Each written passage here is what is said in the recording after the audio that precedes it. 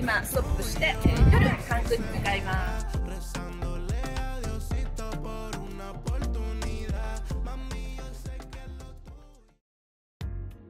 こんにちは。えっ、ー、と初めて自撮り棒なるものを使って今あの YouTube の撮影をしておりますが映ってるのだろうか。そしてかつ全くのノーメイクでいいのだろうか。とりあえず撮ってきてくださいと言われたので撮っております。今羽田空港第3ターミナルにおりまして、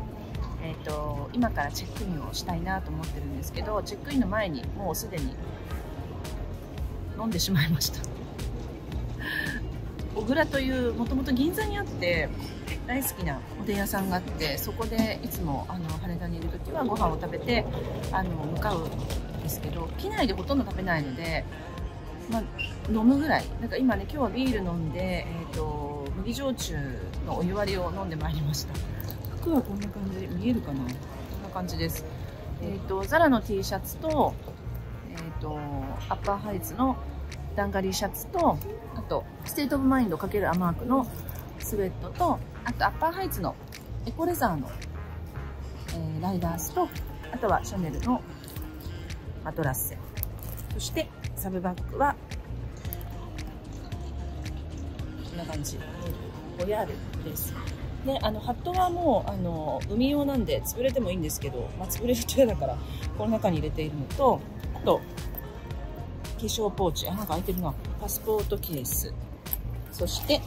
あと機内で使うマヌクハニーの飴とかがこのレスコのポーチに入っております。じゃあちょっと今から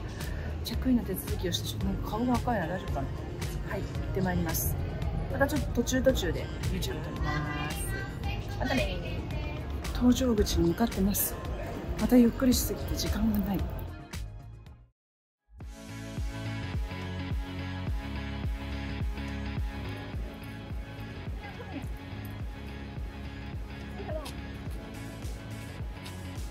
こんにちはっつって。おいこです。近い。Say hello. 写真じゃないよ。It's this is a video. Oh, this is video. Say hello. Where are we now? もうフレームアウト。ビーチ。サンタモニカだっけ？サンタモニカ。サンタモニカに今ストップして、えー、夜、韓国に向かいます。えー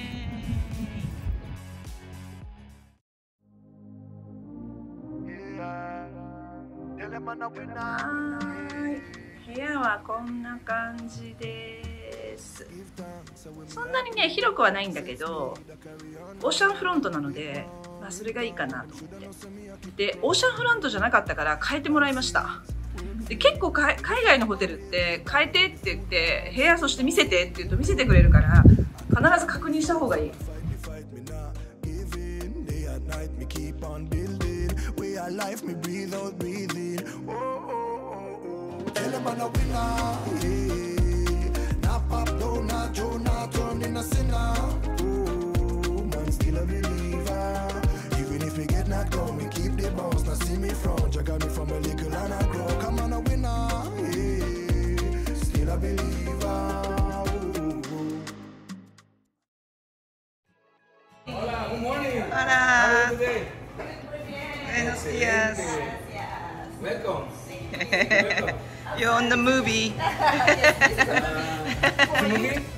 YouTube. Oh, oh, oh YouTube, really? Oh, yes.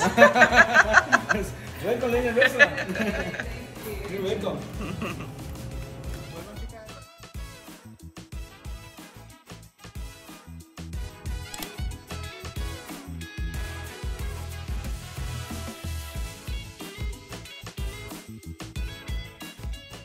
はラストデーだねラストデーラストデーインメヒコなのであの一日プールで、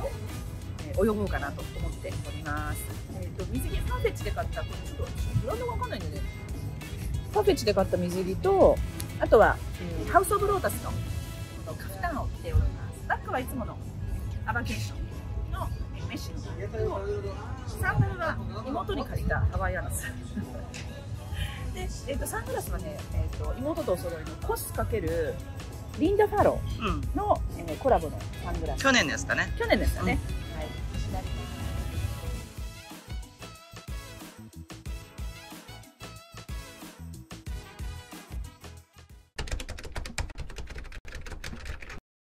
はい、えーメキシコ・サンディエゴ熱狂の2週間の旅終わりまして東京に戻ってきました。であの日焼けがきちんと残っていてあの私的にはとってもいい感じなんですけど、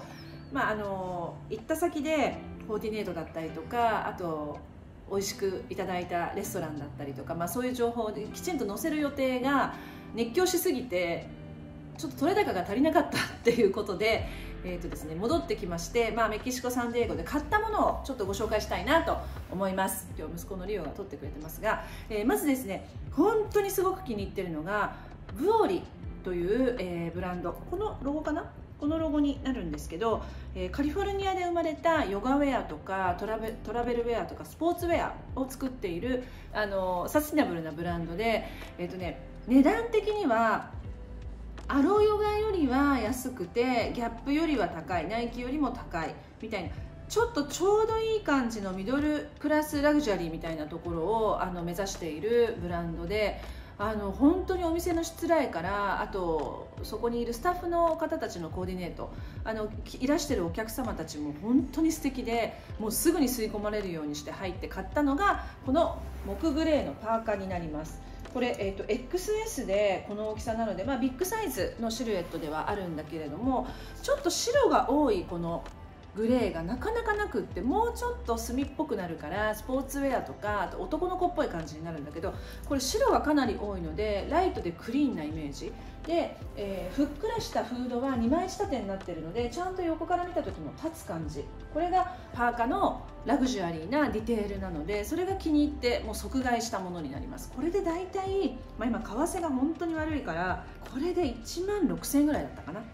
はい、このパーカーものすごい気に入っております。ポケットはねないんですけどポケットないから逆にカジュアルに見えなくていいかなと思っていてジャケットの中とかあとはトレンチからフードだけ出したりとかこうやってちょっとチュールのスカートと合わせたりとかああリッチはうまいね。はい。という風にしてコーディネートしたいなと思ってます。で同じブランドで買ったこのキャップブオリーのキャップなんですけど、えーユニセックスのデザインでこの黒地に白の、えロゴがフロントに入っているのがすごく気に入ってあの買ったものです。でナイロン素材なのでちょっとだけ光沢があるんだよね。ちょっとリッチに売れるかな。はい。ちょっとだけ光沢があるので大人の顔色を明るく見せてくれる感じなのですごく気に入っています。ブーリー2つ買いました。結構レジも並んでたのであのもう1個もう1個って買い足したかったんだけどちょっと無理だったのでこの2つをとりあえず買いました。そしてあと,、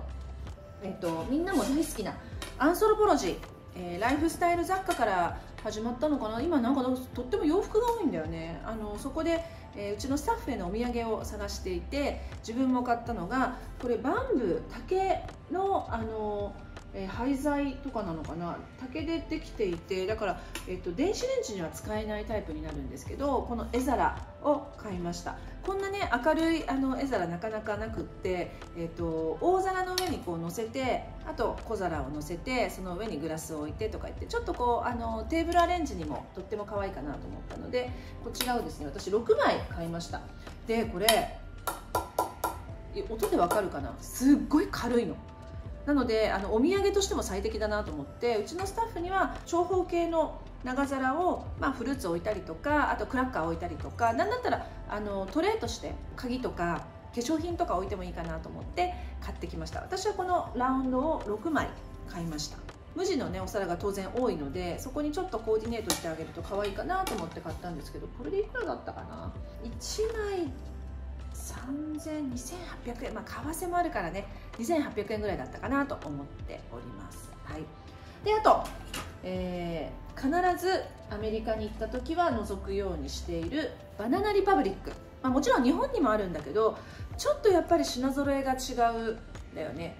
であのこのラインストーンのゴールドのスカート最終セールで21ドルだったので大体りっちゃんいくらぐらいだ？21ドルだと。3200円だ3200円ぐらいか3200円でゲットしたスカートめちゃめちゃ可愛くない？これ。でマイサイズジャストサイズで2枚しか残ってなくて XS これね XS と XL しか多分なかった。これなんかねこういうトレーナーに合わせても可愛いんだよね。あと T シャツと合わせてもいいかなと思ってこちらを買いました。で最後。最後に大物が出てまいります。じゃーん。あの海外の、えー、とシャネルとかねエルメスとか、まあ、セリーヌとかそういったところにブティックに行った時ってこれが買いたいっていうふうに思っていくことはなくてやっぱりあのこれだけのラグジュアリーブランドだからその国でどういう方が買い物に来ているのかとか、まあ、スタッフの方の対応も含めてあのこうフレンドリーなのかとかあとすごく親身で優しいのか、まあ、もう皆さん優しいんだけどなんかそういうことを勉強しに行く場所でもあったりもしてなのでどうしてもどうしてもこれが欲しいって思っていくことはないんですね。で行った先であったものがご縁だと思ってるのであのなければないしあったらまあ値段によってはあの購入するっていう、まあ、その出会いが楽しいかなと思って行ってるんだけど今回はね、えっと、サンディエゴのファッションバリーっていうところにあるモールに行ってそこに本当に小さなシャネルのブティックが入っていて何かあるかなと思って行って買ったのがこの小さいサイズのバッグになります。チェーンの部分が、えー、革巻きになっていてであのストラップが結構今の他のバッグに比べると短い。それがすごく可愛いなと思って、えー、買いました。この辺のあのゴールドの、えー、しつらえもアンティークゴールドちょっとマットなゴールドになっているのでなんか肌なじみもよくて使いやすいかなと思って、えー、買ったものになります。長財布は絶対入らないので小さな三つ折りの財布にして、えー、入れ替えて使おうかなと思っております。はい。こんな感じで、えメキシコサンディエゴ熱狂の旅で買ったものになります。あメキシコで買ったものもね何かあったかな？でもね今回はもうあのメキシコで例えばこうなんかラグみたいなものとかいつもなんかすごい熱狂して買っちゃうんだけど今回はあの重量オーバーもともともう行く時から重量オーバーだったので あのできるだけ買わないようにと思っていたので、はい、サンディエゴが中心になりましたがこんな感じで、えー、買い物をいたしました。はいちょっと取れ高がなかったので最後、え、買い物のご報告でした最後までご視聴いただきましてありがとうございました。